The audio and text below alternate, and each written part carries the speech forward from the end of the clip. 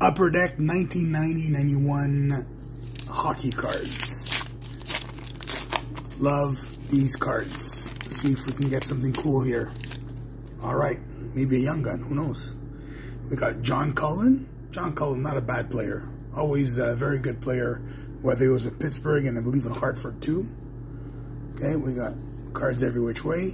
We have Scott Scissons, number one draft pick. Come on now. Greg Hawgood of the Boston Bruins. Cards every which way. This is fun. Got Peter Svoboda, very decent defenseman for the Canadiens for a while, and then with Philadelphia. We got Rob Ramage as a Toronto Maple Leaf. We know where that goes. All right, we got Pierre Turgeon, checklist card for the Buffalo Sabres. Love those jerseys. Happy they brought them back.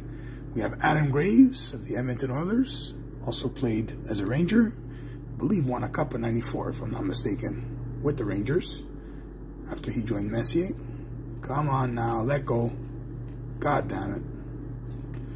All right, we have Mario Marois of the Quebec Nordique. We have a checklist card here, Brian Leetch, great defenseman. One of the great American-born defensemen. We have John Chabot.